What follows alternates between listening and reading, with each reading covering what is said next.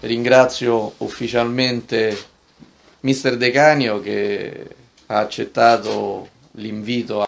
Io lascerei la parola all'allenatore. La guerra di mio padre contro i barbari. Lo ha detto lui stesso, non ha portato a niente. Ma il popolo lo amava. Il popolo ama sempre le vittorie. Sì, sì. Io sono, sono, uno spartano, sono romano, quindi come tutti i romani ci piace, ci piace combattere. Io darò al popolo una visione E io sto lì e devo combattere anche queste, queste insidie. Il popolo mi amerà per questo.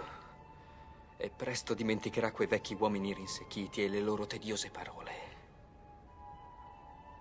I, i, quelli là, quelli là, non mi esce la parola, quelli là sono avvisati. Oh. Io darò al popolo la visione più grande che abbia mai avuto e la partita inizia alla grande per la squadra di Grosso. Liam Anderson al secondo minuto sblocca subito la partita. Già qualche rana dalla bocca grande evidentemente, perché nel mondo del calcio mi sembra che tutti parlano a sproposito. Qualche medico mi dice che sono un pazzo. Certe cose non le sapevo nemmeno io.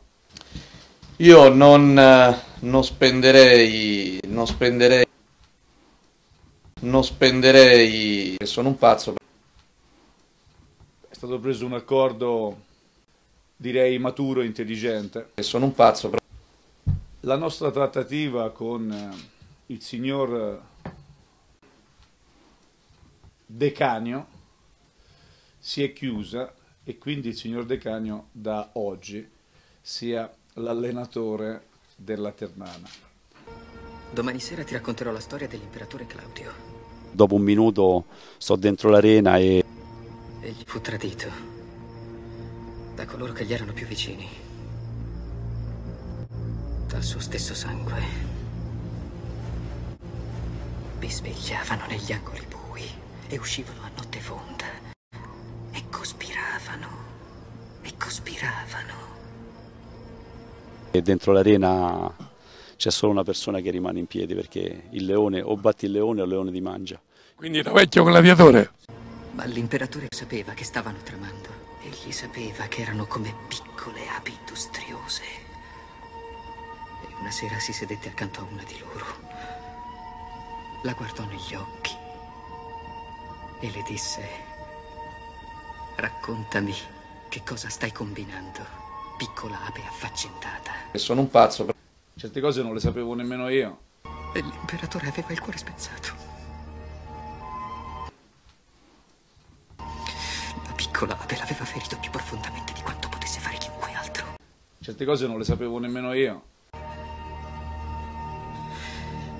Che cosa pensi che sia accaduto dopo? Il Bari torna in vantaggio con il primo gol in campionato di Luca Marrone. Siamo al minuto numero 62.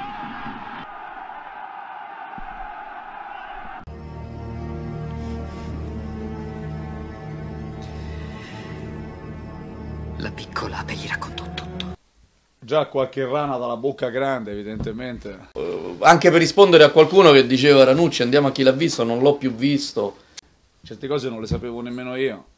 Voi lo sapete benissimo, io c'ero a Empoli, c'ero a Cesena, c'ero a Brescia.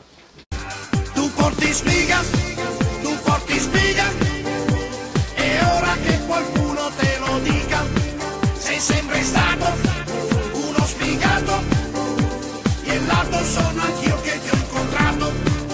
Mister, benvenuto.